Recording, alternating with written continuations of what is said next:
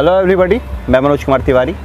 मैं आप लोगों को इस वीडियो में बताऊँगा कि लास्ट टाइम में मेंस की तैयारी कैसे करें। अब आप लोगों के पास ज़्यादा दिन भी नहीं बचा मेंस के लिए। तो मैं इस वीडियो में दो चीज़ आपको बताऊँगा कि लास्ट टाइम में आपको क्या करना चाहिए और क्या नहीं करना चाहिए। तो सबसे पहले मैं आपको बताने वाला हूँ कि क्या नहीं करना चाहिए। तो सबसे पहला पॉइंट आपको लास्ट टाइम में क्या है कि कुछ पेपर जैसे कुछ चैप्टर आपका वीक रह जाता है या कुछ चैप्टर आपका अनटच्ड है। तो जो वीक चैप्टर है या जो अनटच्ड है, उसको आप वो छोड़ ही दीजिए। क्योंकि जब आप वो दो साल में आप नहीं किए हैं तो लास्ट आप लास्ट पंद्रह बीस दिन या एक महीना में आप क्या कीजिएगा? तो इससे उस टॉपिक को आप छोड़ ही दीजिए। वो ज़्यादा अच्छा रहेगा, क्योंकि ऐसा ना हो कि आप उस टॉपिक को अच्छे करने के चक्कर में जो आपका टॉपिक अच्छा है, उस पर आप प्रॉपर टाइम ना दे पाएँ।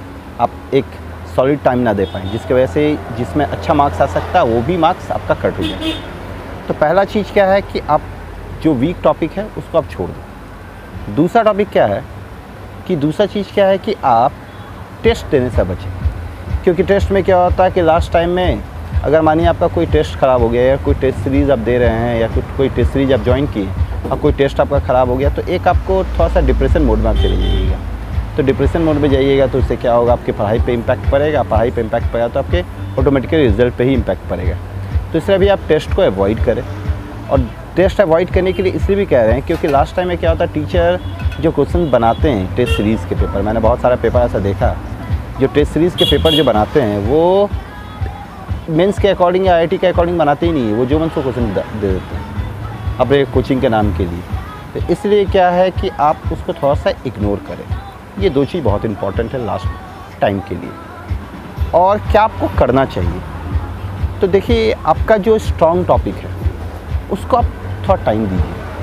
उसको और अच्छे से कर लीजिए कि उससे कोई भी कोई भी क्वेश्चन आएगा उस चैप्टर से। तो उसको हाँ हम कंप्लीट कर लेंगे, उसको बना ही लेंगे, उसको छोड़ेंगे नहीं। फिर दूसरा उसमें क्या है कि जो आपका ज़्यादा नंबर ज़्यादा नंबर का जो टॉपिक आता है, जो ज़्यादा नंबर का चैप्टर है, जिससे ज़्यादा क्वेश्चन पूछा जाता है, उस चैप्टर को आप अच्छे से करें, बढ़िया से करने का कोशिश करें कि वहाँ पे कहीं कोई दिक्कत ना हो। जो ज़्यादा वेटेज का चैप्टर है, अगर वो आप अच्छे से किए हुए हैं तो उससे अगर मानिए जो भी क्वेश्चन आ रहा है, ज़्यादा मार्क्स का क्वेश्चन आ रहा है तो आप बना लीजिए तो वो आपको अल्टीमेटली फ़ायदा ही दे जाएगा।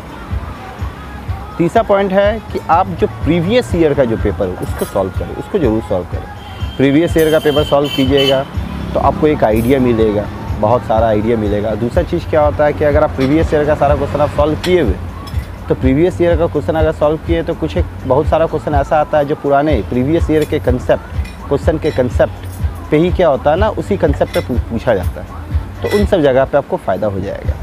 तो आप प्रीवियस ईयर का क्वेश्चन पेपर ज़रूर करें।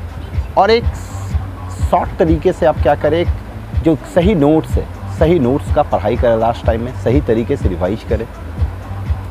सही तरीके से रिवाइज करें और आप माइंड में रिवाइज करने की कोशिश कीजिए, क्योंकि आप कॉपी पे लिख के रिवाइज कीजिएगा तो ये बहुत टाइम ले लेगा, बहुत ज़्यादा टाइम ले लेगा।